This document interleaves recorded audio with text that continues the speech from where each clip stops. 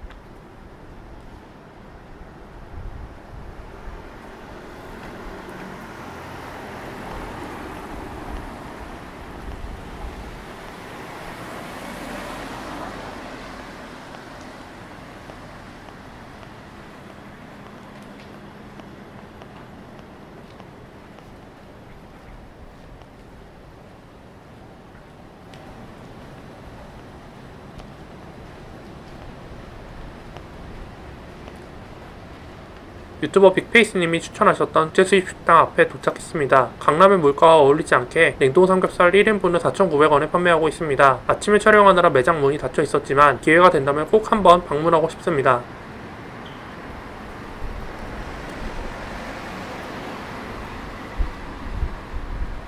빅페이스님이 이상하게 썰어서 비난받았던 돈가스도 한번 주문해서 먹어보고 싶네요.